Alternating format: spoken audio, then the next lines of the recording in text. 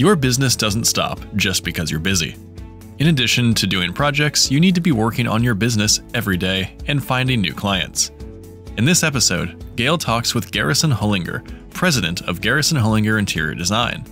This was recorded live during our Operation Thrive event, so if you didn't attend, be sure to listen to the full episode. Will we see you at High Point Market? We have some great events that we can't wait to see you at. On October 14th, you can attend The Pros Know and They're Telling You results from the 2023 Interior Design Business Survey to power your best business life. Afterwards, catch three top ways to build your business, the lowdown on fees, team structure, and what you want from vendors. Then on the 15th, come see You Deserve to Make Great Money Doing What You Love. And then, tell the truth what real designers do to win at business. You can learn about all of these events at thepearlcollective.com slash events or on the High Point Market website. I am so excited to have my friend Garrison Hullinger here today. He's the president of Garrison Hullinger um, Interior Design, and I have known Garrison for a while. And there was a period when I didn't know Garrison, but he was actually a client of ours way back. I don't even know what year you started following us, Garrison, but ages ago, you were in your attic, as I recall. Mm-hmm. which is kind of funny. We actually High Point Market, and uh, he had just done a panel discussion. So I'm not going to follow your exact intro. I'm just going to share a little Good. bit. I know. Okay, perfect. well, and Aaron has three kids. That threw me off today. I'm like, well, what? I don't actually have three children. I have two, but I okay. have been helping one get to school today. okay, okay. I can yeah. use some help tomorrow. Surprise! I, have got three yeah. kiddos now. Sorry, Gail yeah, instantaneous third kid. All right. Well, and so Garrison um, started his business, like I said, in his attic. And what at one point, I think your high as far as employees was what, 32? 34. Yeah. 34. Mm-hmm. Wow. Mm-hmm. So enough. in about 10 years, 12 years? Yeah, this is 13. 13 year years. 13. Okay. This is year 13. Yeah, that's crazy. So stop and think about that. And Garrison is, he does a lot of different types of work, a lot of commercial work. He's done some um, hospitality work, just did a new four star re- resort in Deer Valley. And that's a huge project. His conference hotel space, three restaurants, two bars, and probably a whole lot of other things as well. He's also a big speaker in our industry, and he's been on our programs several times over the last few years. And we've actually taken some of our boardroom people up to Oakland before and had Garrison and his team show kind of the inside operations of its business. So it was fabulous for us to do that and was right at the beginning of COVID. And we're going to talk a little bit more about that in a few minutes. But today I'm just really excited to have you here. So Garrison, thanks for calling in from Portland. Yes, of course. Well, thanks for having me. And it's kind of cool to see Arlene Lord is on here from Portland, Oregon, too. Oh. Um, which I mean, I don't. I probably haven't seen Arlene in I don't maybe those ten years. I don't know. oh um, at a fabulous dinner by one of our uh, showrooms, so that was super cool. But of course, you know, I get to hear all about that. And then I saw there's someone, uh, Mary from Wichita, um, on, that she stayed at. So that's my hometown um, from the fields of Kansas. So I'm very excited to be here. Thank you for having me and to see everyone's faces. All right. Well, hey, we're going to do this interview style, and it's going to be, you know me, I don't always follow the questions. I know you are. Look at Daniel going like, "Oh my god." yeah, we're so Surprise. used to this, and uh, Garrison is good on his feet. So I, I'm really excited about this conversation. And I, I'm going to start off and let's talk about the economy because this is an area area that a lot of people are just experiencing right now. And I, I have a couple of bullet points I'm going to share with you. things that I've been hearing and reading. I've been paying a lot of attention to this. The Amex um, economist comes on every quarter and talks about the economy. And it's so interesting going from quarter to quarter and hearing what the economists are saying. And people are, of course, just guessing what's really ultimately going to happen. Um, because we don't know, because there's a part of, there are the numbers and what those are telling us, and there's how the people in the world are responding to that. So we can't really control that and we don't know how they're going to respond to it. All we know is what the numbers are. And then we also know how we feel about it. So, um, what I am hearing, and I want to share some of the positives, and Garrison, jump in anytime, but the what we're hearing lately is that the recession will be a soft landing. It's probably going to be another 12 months or so. And we should see the worst of it over in about 12 months which is really really really good news. Um, the other thing to keep in mind that usually when we go through these economic periods or there are challenges like we went through covid we've had 9-11 we've had so many things in the past history it's about every three to seven years we need to be anticipating that something is going to happen.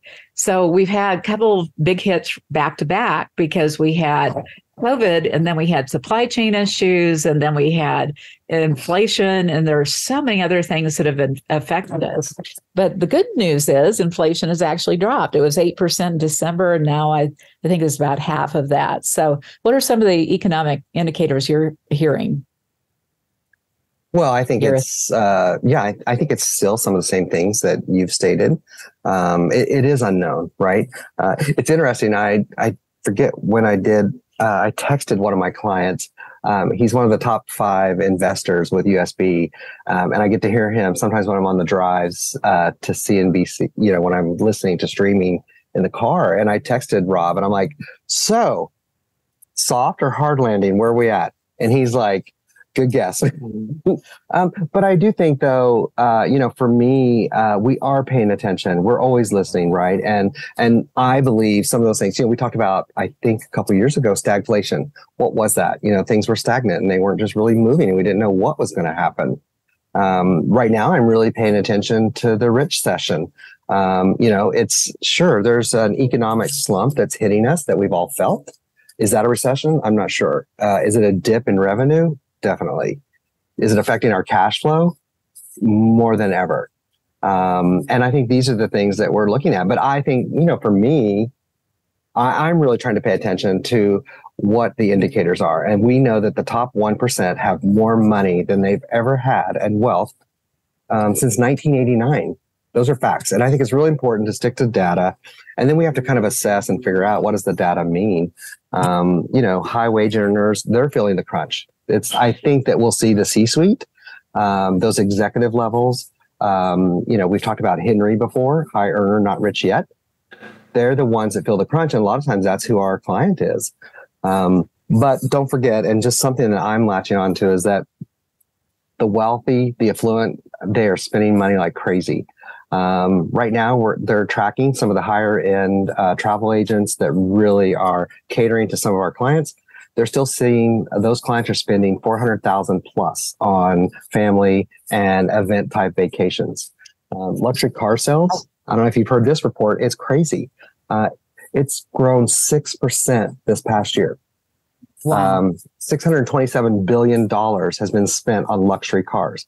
Private yachts and jet sales this last year grew 18% so to 28 billion dollars. So those are the numbers i think that you know we look at because those are indicators where the true wealth is and what they're doing with their money.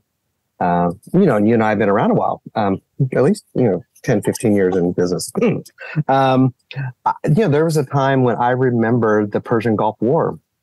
And during that time i was working in probably you know one of the most luxurious retailers uh, in the country and we saw the affluent and the wealthy lock down and quit spending we're not seeing that right now so to me that i think is to continue to base some of the data you were mentioning uh, for a soft landing that's my hope well, there are a couple of other things too. For example, unemployment uh, or employment is still very, very strong. And that was not anticipated. It is continuing to be mm-hmm. Really stable. We are seeing that, of course, we've had bank failures and everybody was freaked out about that for a short time. But then they started getting snapped up by other banks, and that kind of took care of some of those problems. And I'm sure you've probably seen that a little bit in terms of how it's affecting the commercial markets, because of course interest rates have gone up, um, and that has affected the cost of borrowing money. So, has that affected you as far as commercial? We're definitely seeing that. I mean, excuse me, uh, in the other markets that we're in, um, Oregon, Washington's in a very unique, sad situation for the Pacific Northwest with their business and their futures. But you know, in the other states I'm in, in Utah, California, and Colorado, what we're seeing is is that you know there's no market for investment and for loans right now in the commercial world right and that's i think probably what you're talking about. Mm-hmm. um, i have one architect who he's warning me right now. He's like garrison i don't know. He goes you're going to have to figure out what to do. He's like i have 30 projects and i'm afraid once we see investments open up you're going to be just flooded with opportunities and you're going to have to make a decision what projects do you really want to work on? Well, i haven't heard that in years. Wow that's a great news. It's really wonderful and uh, I you know, I've been trying to talk to a lot of my network to find out if they feel the same way. And everyone's telling me that they're just, you know, they're waiting for this moment when the investors are going to start turning loose some of their money.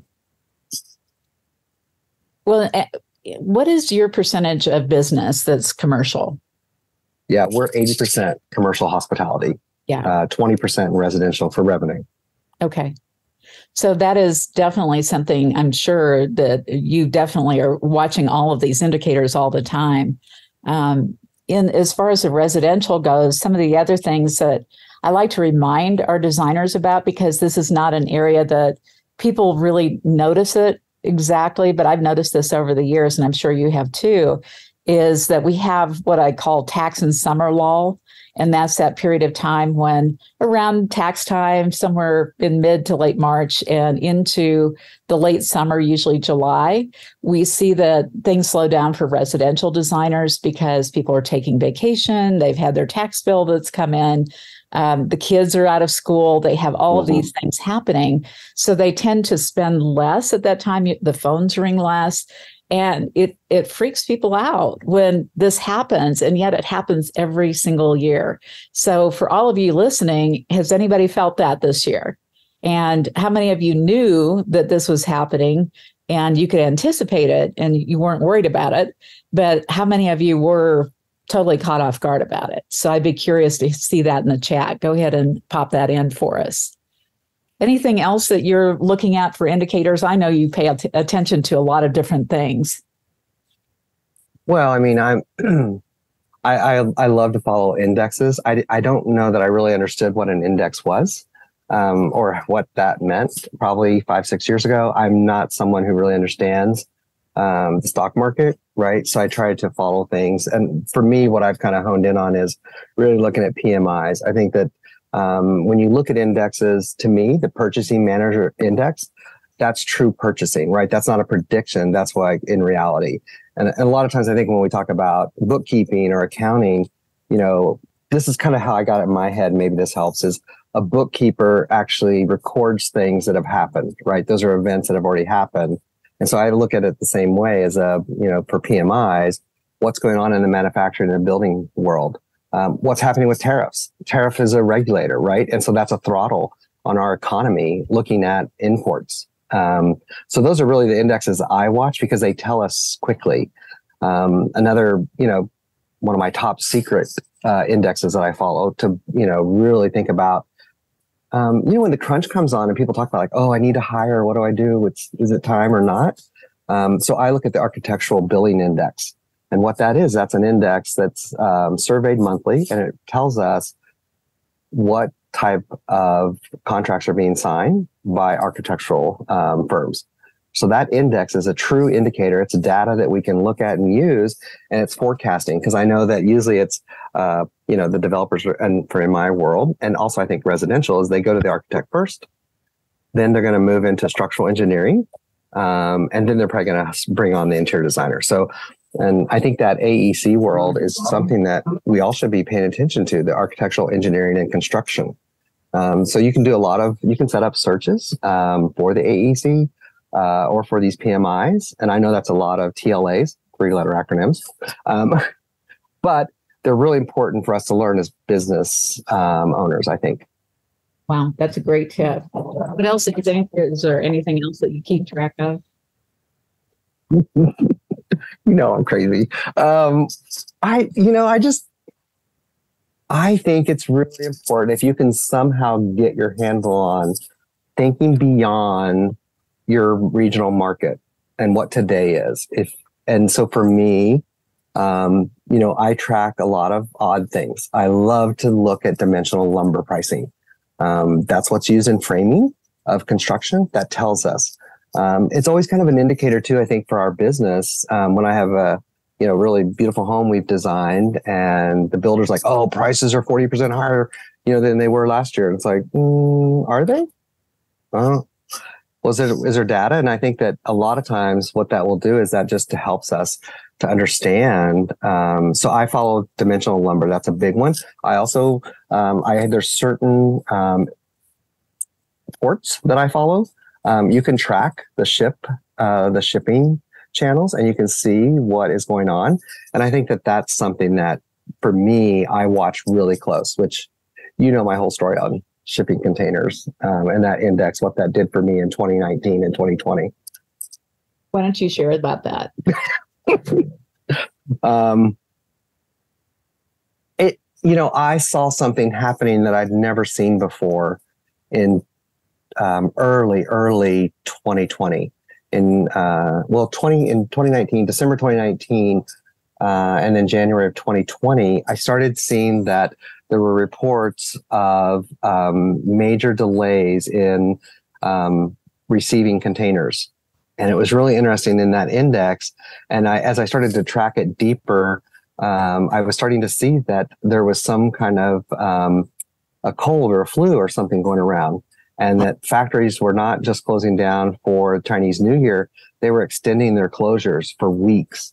Um, and to me, that was an indicator that there's something really, you know, wrong going on. And to listen, and and at first, I'm like, okay, what that means is we're going to see delays in materials right? So fit and finish is really important in our industry. Um, all of the, you know, the, in multifamily, I work a lot in. Um, it's LVT, right? So I really watch that index. I want to know what's going on with luxury vinyl planking. Uh, if you're someone who works, you know, with countertops or cabinets or hardware, you know, that's something you can follow. And what I saw, I was then able to track it. By the time I went to KBIS, in January, the third week of January of 2020, I knew I'd made a decision that I would not shake anyone's hand. Um, I just started thinking about it and I'd heard rumors about this weird cold thing that was going on. Um, and I made a decision. I got, and a lot of the vendors and suppliers I know really well were like, dude, you're weird. Like, what is wrong? Like, come on, shake my hand, you know, lick my face, whatever, like we normally would do, right? Do some shots. Um, but I just started thinking about it. You know, if I shake 300 people's hands, what's that doing to me? Um, and so that was my first indicator um, that something was going on. And then all of a sudden we started seeing um, that there was this reports of COVID. Um, and so I was tracking it. I mean, I don't know how much you want me to go into, but I was, you know, I was tracking it. Yeah. Um, by January 20th, I began to think about creating a uh, business continuity plan. Yes, and to try we, to figure out what was coming. Exactly. And when we saw you in February of 2020, when we brought our boardroom member, I will never forget that day when you said to us, we were in a meeting and you said, So, what are you doing to plan for COVID? It, it, and I was just in shock and I could not even fathom what you're talking about. And then the next few weeks, I was in New York of course, right during the middle of the shutdown. I, I mean, seriously, Broadway shut down, the restaurants shut down, everything shut down around us. And um, and you were right. And what was so strange about this is that I'd never really, I certainly had had the 9/11 experience right after the, um, you know, we had all the terrorist attacks, and we had the slowdown. I had to off people, most of my team, And so um, the thing is, I still didn't know my lesson. That's contingency planning. So from I learned that from you. And so that was a really big wake up call for me to be always thinking about contingency planning and starting to look at okay, things are slowing down. We need to prepare for that. So I was preparing for this current slowdown back around summer of last year. And that was, it was really interesting because I learned my lesson finally. So, what I would say to the people listening is that you have to be thinking about okay, what do I do to move forward? But also, what do I do in case it doesn't move forward? And what do I do to prepare for that? So, we can't always anticipate what's going to happen. No. But, you know, obviously, you put the two and two together, which is pretty darn cool. and uh, and it really helped me think about my business too. And of course, that's where Operation Ignite came from because we did that event right after we got back from New York and everything shut down. So, in these times when it's a little bit shaky and it's hard to predict what's going to happen, how do you keep your team informed but still keep them motivated? Well, I, I think it's involvement, right? Transparency vulnerability. Uh, if if you know, I think if you describe yourself as a we are that you know in our in your marketing, we is plural, right? So there's more than one individual, and I feel that whether it's one or twenty, um, there are key individuals that are part of our business that they deserve, you know, to be a part, which is also then kind of relays um, to accountability. And so for me, I really do involve uh, key team members and assign them roles.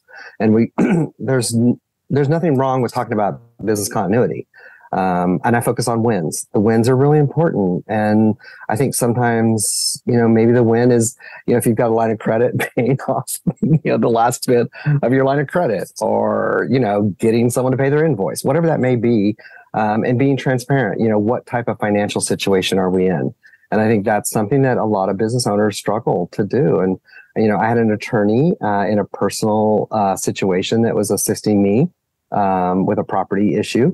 And, you know, one of the things he, you know, kind of leaned over and told me one day uh, when we were talking about business and stuff, he's like, don't forget, you're a for profit business. And when you employ people, it is your fiscal duty to pay them and to provide for them. And ever since then, it was kind of like, a, yeah, you're right. And so I need to be open and transparent about it. I think also it's just normalizing stress um, and relate it to the issues that are being faced. It's it's real. It's I think it's okay to talk about, um, and also that you know whatever my vibe is and is whatever I portray to my team um, or those ancillary members or consultants is what they're going to pick up on, right? Uh, so I have to be honest with them. And and you you know you saw me in some dark days in 2020 on some videos and some phone calls that were not so great. Um, you know, I laid off 19 people in one day. It was probably one of the saddest days of my life ever. Um, and and I never even thought about that. You know, I was mandated by my governor to be home. I wasn't allowed to use my office, and you know, I never thought about my husband being in his own office. He's worked from home for 20 some years, and you know, he came in afterwards. I'm uh, literally on the floor crying. Um, and I never thought about, he doesn't really know about my business. And so he heard me go through this moment, you know, where I really had to pick myself up and, and rely on him. And it was probably that a really great moment, you know, to be at the lowest of lows and to have your partner there. but I think, you know, coming out of this is to really, I've learned to continue to be transparent, uh, continue to think forward. Um, I don't know. When you put your mind to it, there's a way around things. There always is. And the thing that I, I think that happens for a lot of people, and I, I, want you all to think about this as you're listening to this conversation, that we're talking about some of the things that can go wrong and the contingency planning, which I want to dive into a little bit more in a second. But on the other side of this, from what you're describing and what we all know, there were more millionaires created during the Depression. We had even more mm-hmm. millionaires and people increasing their wealth during the recession in 2008. We have had these periods when people think the sky is falling, but guess what? It's not for everybody.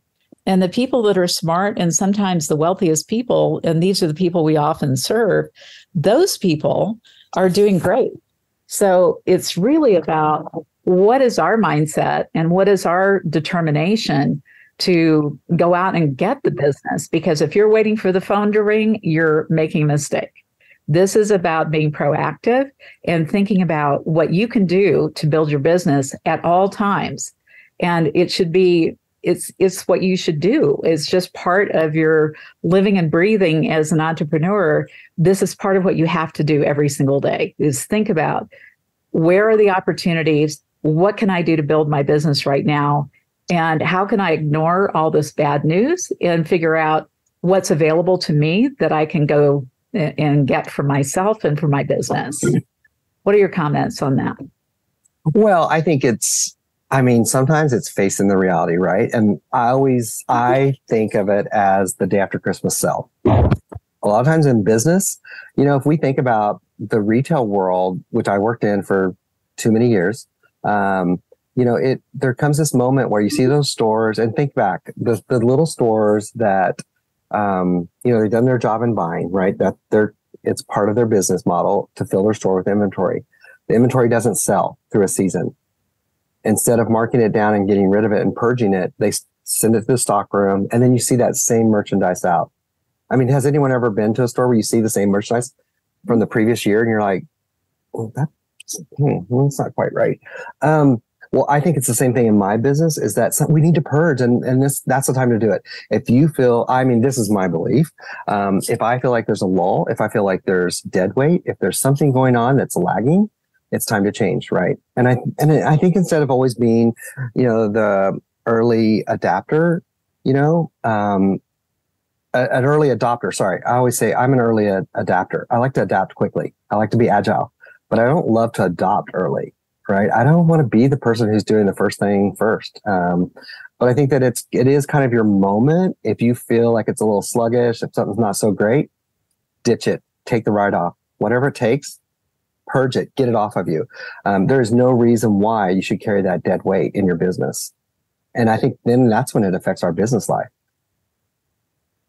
That's interesting. So the dead weight is um, well, you brought up a couple of really interesting things there. First, you said, I don't adopt early. And mm-hmm.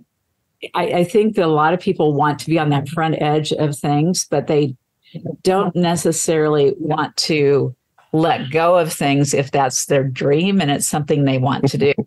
So, well, that's a whole nother story. Dreams are, I mean, come on. okay. Well, jump in. Tell me what you think. No, I'm just saying, like, I think that in business, that to me, I feel like that's a parallel. Whatever your dream business is, is a parallel to the reality of what your business is today and how to make it tomorrow. Okay, expand I, on. I feel like I think that um, we have a business model that we need to follow, and you should have a plan. And uh, even if the plan is like, "Hey, I want to retain this employee and pay them, you know, medical benefits," that's a business plan. So I think that if that's your business plan and that's your model, follow it, dive in deep and go and kind of try and project and continue that. But if your real dream is, is, you know, to, you know, buy Studebakers and turn them into tiny homes, well, that's a dream. That's not, you can't make money off of that, right? And I think the same thing happens a lot of times when maybe you're approached to do product development or you're approached to do a textile line. You have to really kind of think about that. What's the effect that I have on my business? Um, and do I have the resources for it? So for me, I always say that you kind of have these two channels that you have to run the dream and then reality of your business model, if that makes sense. Sure. Something that you talked about when we were there in Portland in 2020 is your contingency plan. I want to dive into that a little bit more. And let's talk about what you did to plan for what was going to happen, like your layoffs. That was just one yeah. little piece of it. So let's talk about the rest of it. Well, I mean, for me is to again, I, am really fortunate that you know I have a a retail background that you know where I was in stores. I became kind of you know the expert of operations. I then went to headquarters. Um, you know, we were a rapid growing company of 500 stores. um, first store, first retailer to ever reach a billion dollars um, in three years. And so I think that gave me a lot of training and knowledge and belief in myself. Maybe it's not all valid, but it's, you know, kind of like it makes you portray yourself like, okay, I can do this. Um, and the big part is to project and to think through. And, and the one thing I kept thinking about is I'd never had a remote work business. I was always the guy who was like, you can have laptops, but laptops can only be used to travel to these other states for meetings. so um, I knew immediately uh, I had my tech guy. I said, just start buying computers. I don't care. They can be, we don't need laptops right now. If people are going to be working at home for a couple weeks or a month, let's just buy. So he went on to eBay and some other places and started procuring laptops and computers because we just didn't have bulks of these, you know, computers. Um, and so we ended up buying 25 used computers and he started rebuilding them in the end of January. And I know you thought I was crazy in February. Um, but we just wanted to be able to work remotely. And so that to me is part of the business continuity plan. And then we created processes to have a backup for our server. We knew that our server was everything. Um, and that we had to be able to back up our data and share our data in a way that we'd never shared files before. Um, we had done a lot of remote meetings, so we kind of had that down. And so what we did is we just kind of worked again on our um, flow chart. So I have a, you know, I have a process flow chart of the steps that we go through from the time that you take a discovery call all the way through to issuing documentations or, you know, doing a site visit. We kind of reevaluated what we thought that might look like um, and started trying to figure that out. Then we also uh, appointed key department um, leads, like who would be a point of contact.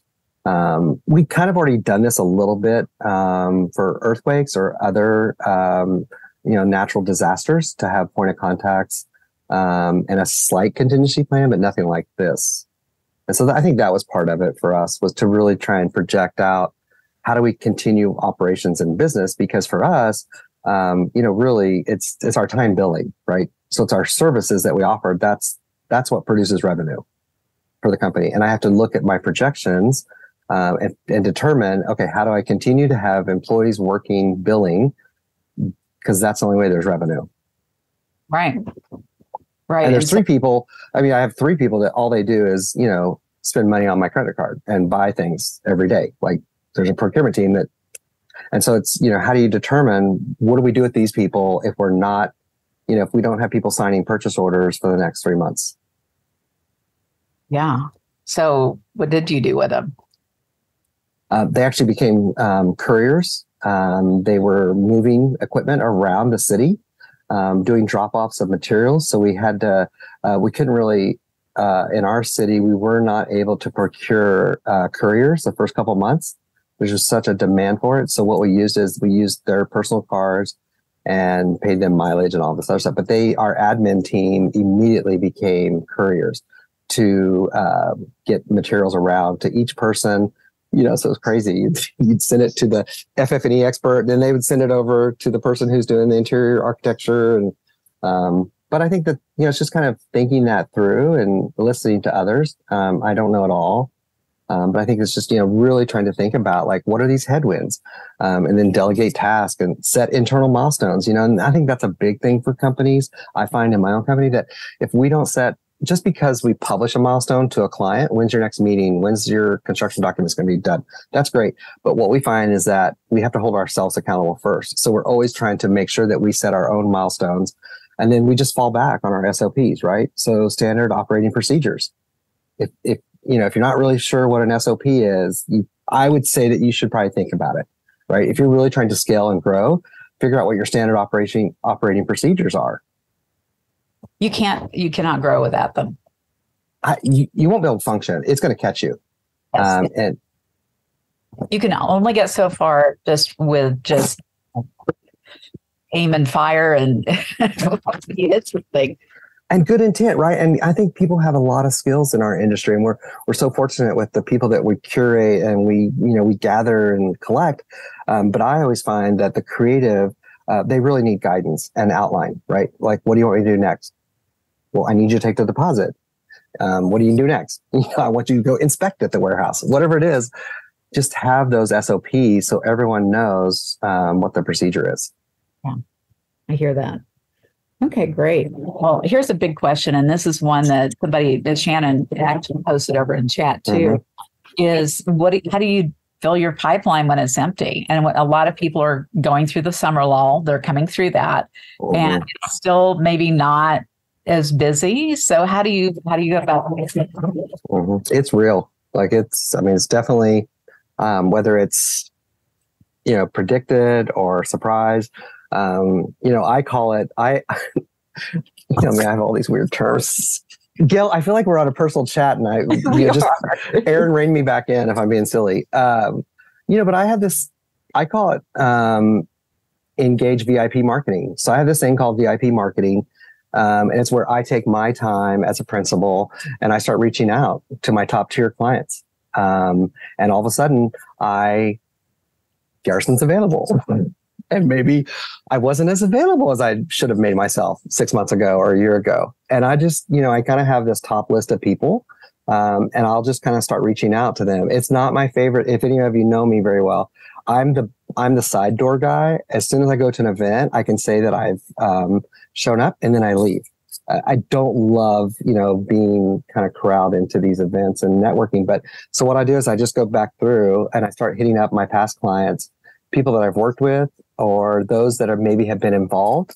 Um, a lot of times there's uh, consultants or other people I've met, maybe realtors. Um, you know, I used to do Street of Dreams, and so a lot of those uh, properties had realtors involved, and so I'll just start reaching out to those realtors because um, I want to, I want to start creating engagement with the VIPs that uh, will appreciate me and my services. And they also feel like they deserve that service. And um, maybe sometimes, you know, it's a little sly and maybe I'm not, I'm, you know, being not as aggressive as I should, but I'll do it on Instagram.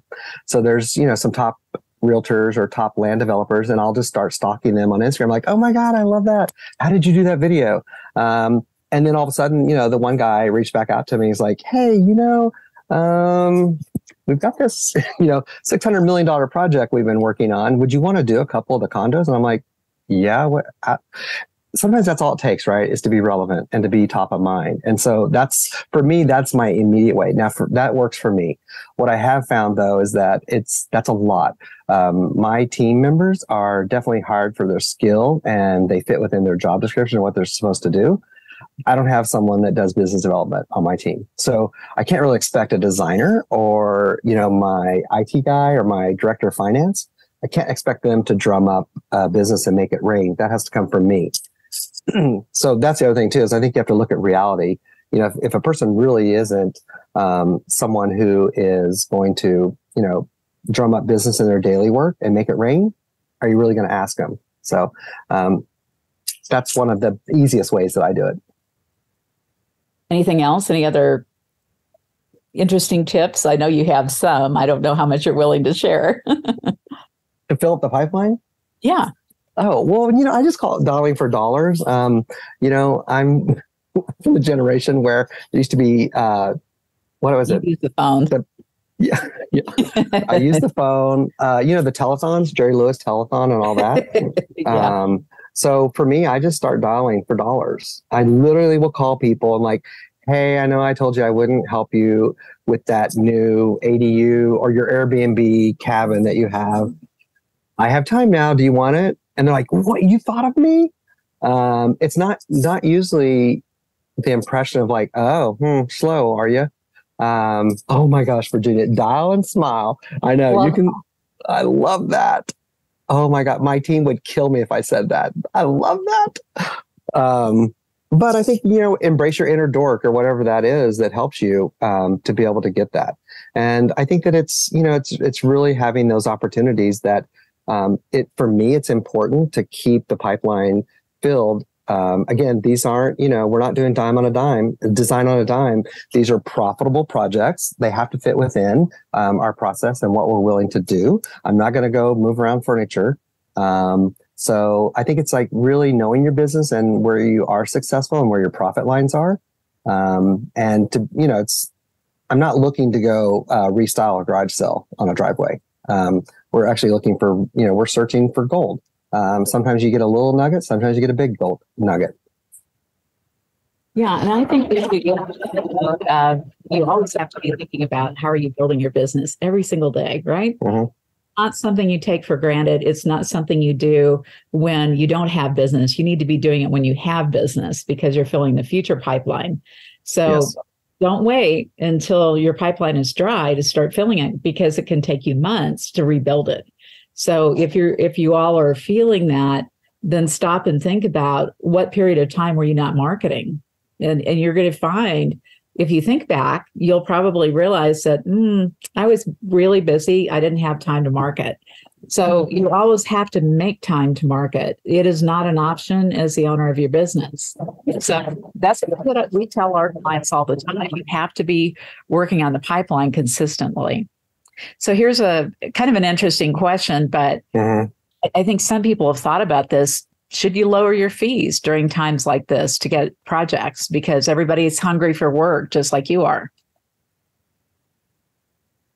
come on oh my gosh um, well i you know of course i have a different take on this uh, mm-hmm.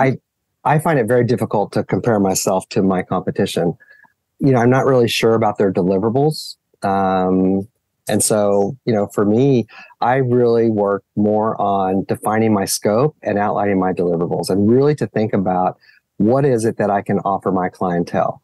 Um, and so, you know, instead of like increasing fees for uh, project scope, I streamline my process. So what I have found is that I, okay, so here's the crazy one.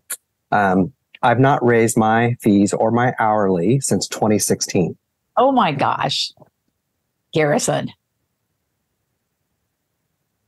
How? But what I've done is I've reduced my deliverables. Uh-huh. I've streamlined my processes. So, and what that means is, is that we now know that there's technology that we're using, there's software, whatever it may be to get across our point. We're able to reduce. So we've reduced our um, hours spent on projects by 40% since 2016 but we are continuing to have a set fee that uh, garners that amount amount that's profitable. And so, you know, it's and, and at the same time, it's it's really thinking about how do I streamline my process? How do I really know and lay out for people what they're going to get? Um, and setting those expectations, right? You have to inspect what you expect.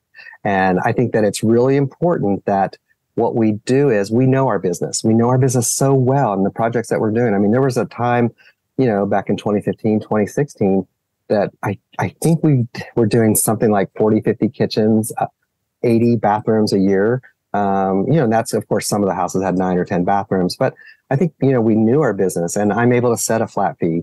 Uh, we, we set the expectations and, and I think that, you know, for us, the flat fee works because I'm telling the client how this works. They're not telling me. Now, should they need to bring in their neighbors, dog walkers, cousins, sisters, brothers, mechanic to look at the plans? That's going to be an ad service and we'll go talk about it.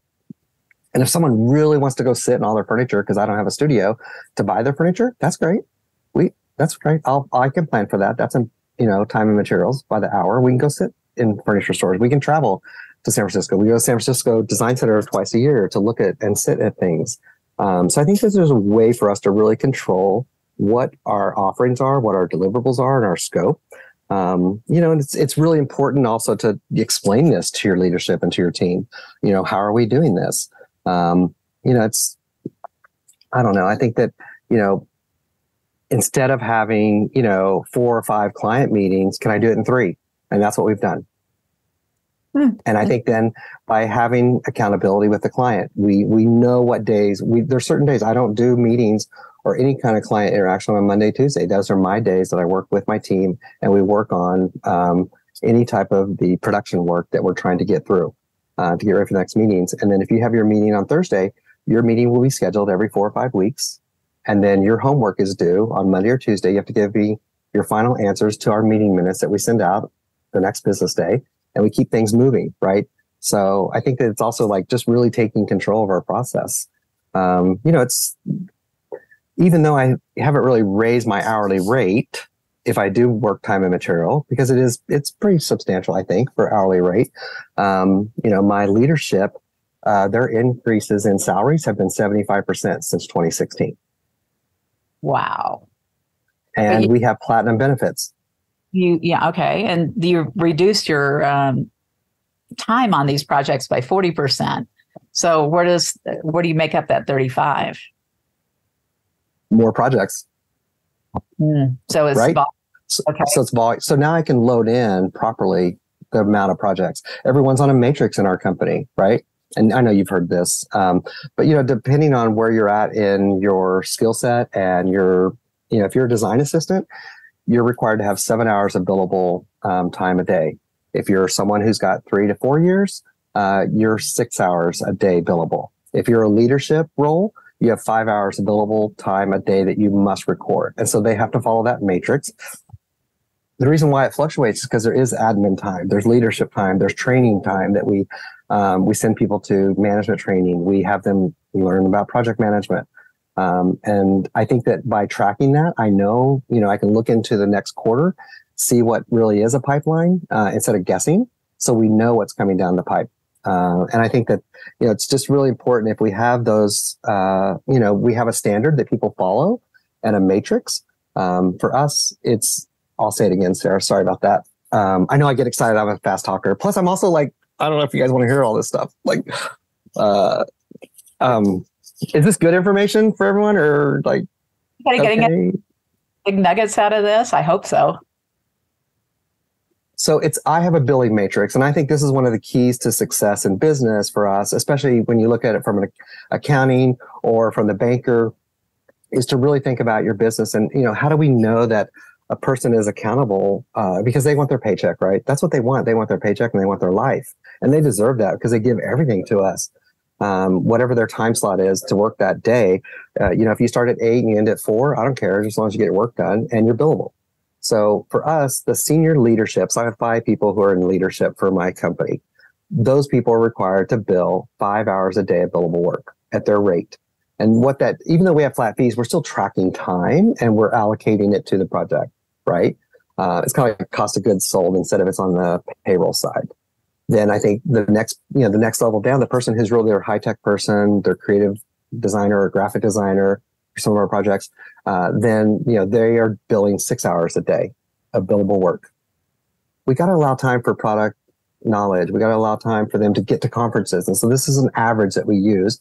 And if I know if that's how they're tracking it, and then the next, you know, then the next person down who's worked, you know, two or three years in the business, um, then they're required to have uh, six or seven hours. So I think that you know it's a big piece for us is just to help people have accountability so that they know where they stand in the company and what is their contributions. Okay, so if, if I can just kind of bring it back Sorry. to everybody, no, no, no, I, I just just fabulous. What I want to say is to take away from this, everybody, as you're listening to this, that you need to be tracking your numbers. The numbers are things that he's brought up throughout the conversation today. And what it's telling us is the more that you understand what's driving your business and what you need to do, what those goals are that you need to hit for each of your people, that's exactly what you need to be doing. So here are a couple of other questions, and I'm going to start asking some of the ones from the chat. Uh, what if you're too slow to build it? Well, right, you're behind now unfortunately, you don't know what your pipeline is. So that's their that's your miss, right? So you missed on your pipeline. Um, we all have projects that cancel. I mean, they're huge. I mean, it's. I mean, we I've seen huge projects just pull out all of a sudden this year. Um, I mean, we all face that. That's the unknown.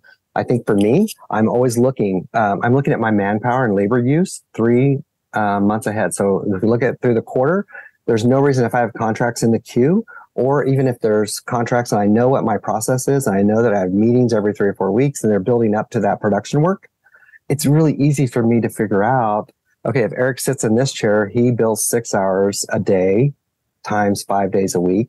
It's really easy for me to see what that uh, prediction should be. And I can tell right now, like, I know where my problems are immediately sitting here today. I know that I've got to still keep things coming in for December. Uh, we're not quite there yet. So unfortunately, I think that you need, you know, for uh, if you don't have enough work right now, you probably have some other issues to deal with.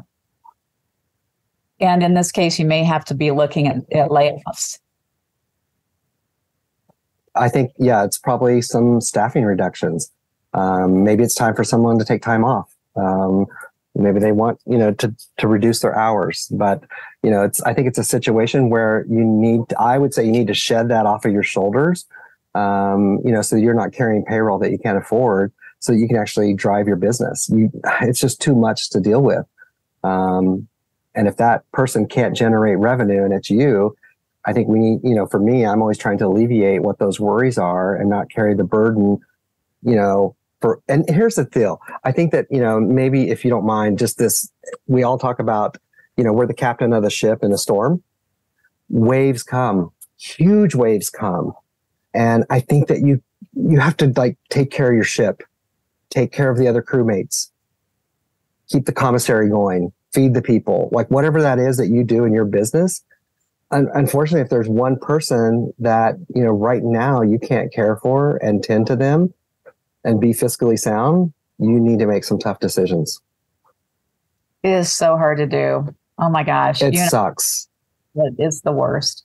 Um, I did it after 9 11 because I ended up going from eight people down to three of us. Oh, and yeah. so painful. But you have to do it because there comes a point where what are you going to do? Go bankrupt? you don't want to do that. So no, or take it on your personal card. No, don't do that. Yeah. Well, um, sometimes, well, I carried people too long just because I felt bad because I was going to lose those people. Yeah. As you get more experienced in your in what you're doing with your business, you realize that sometimes you have to just make tough business decisions. You may not like it, but you are the person who is the leader. So you have to do those things. You're looking to make sure that your company is strong. Um, so the thing is, we have to be juggling all of these balls all the time, filling the pipeline, making sure we have the right people on the team, making sure we have processes documented so people can be efficient in what they're doing, training people, giving people feedback there's just so much to running the business that we have to do and do well in order for us to grow and scale. And some of you may choose not to scale. It's okay. You don't have to. But for a lot of us, we want to build our businesses because that's who we are. We are entrepreneurs that love the challenge of building. So decide what's important to you, but also make learn to make some tough decisions. Okay, here's another question I'm going to bring up how do you get full remodels instead of just a kitchen or bath remodel? So that's uh, during slow time or in general in business. I wonder. Like question. So, hmm. uh, Mark, do you want to go ahead and give us a little more data on that? Meanwhile, I'll ask you another question. What do you think about a newsletter for marketing? Well, I th- yeah, that's your resource. I think if you have, there's something that you can um, you know, send out, update people. It's kind of crazy. Uh, I'm, I kind of believe that I shoot random, right? Like once in a while, we'll just like, ooh, let's send a newsletter out. And it's been, you know, eight months or something. I'm not, I feel like a lot of times when they see it come regularly, they're kind of like delete. Um, but I think that uh, what you're doing, there's also this persona about, you know, if someone else is a little bit in the slumps and also a little bit like, not feeling great about their business because most of us are working with the C suite or the owners.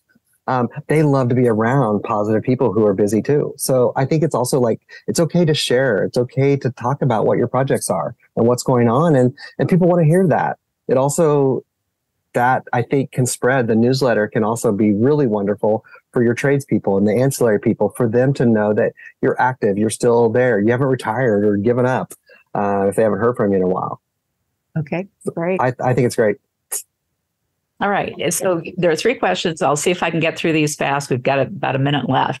Um, so, in general, is the answer that Mark had. So, he's wanting to know how, in general, any time at all, do I get into bigger projects versus just kitchens and baths? Um, well, I mean, hmm.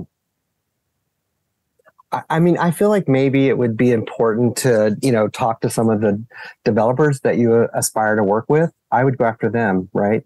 Um, I think that you know if you if you see that there's people out there that you're following or that you've been watching um, that are developing or constructing these homes, start relationships with them. Find out what their needs are. Okay. And I'm going to ask you two more. And some of you that came in toward the end with new questions, I'm not going to get to those. I'm so sorry. Um, how do you market to architects? Um, how do you market to architects? I mean, I think it's just relationships. Um, you know, it's we're such a small market here. I, you know, our city's not even six hundred thousand people. Um, so I think that you know, to me, it's a little bit more personable uh, to make that connection with an architect. Okay, great. And how about AI? Are you using AI now? Of course. um, yeah, in many ways. what are you using? Uh, um, we are finding that it is something that is um, definitely we're using it in our projects um, with Photoshop. Um, we're finding that it is really helping us quickly to be able to illustrate um, beyond SketchUp or Revit um, quickly for people uh, to just get an idea. So that's been really wonderful. We're also using it. Uh, I do a uh, biweekly um, question and answer for my hometown newspaper. And I don't have a lot of time for that. So I also use it for that. Awesome. we use that for headlines or writing an article, mm-hmm. all sorts of things. So yeah, it's yeah. very. And for, for those of your employees that don't know how to spell and use grammar, sometimes it's good to use Chat GPT mm-hmm. and there check it. Um, okay, Garrison, awesome, just amazing. You're always amazing. I love what you share. Oh. And um, just give some love out to Garrison, please. Thank you for being on the call today. And I think we could have talked for about five hours. Sorry. Yeah. Thank you so much. That was really fun. so glad to have you here. Next week, stay tuned for another great talk from our Operation Thrive event. In this episode, Aaron Weir chats with Kate Norton to discuss the idea of selling solutions to clients.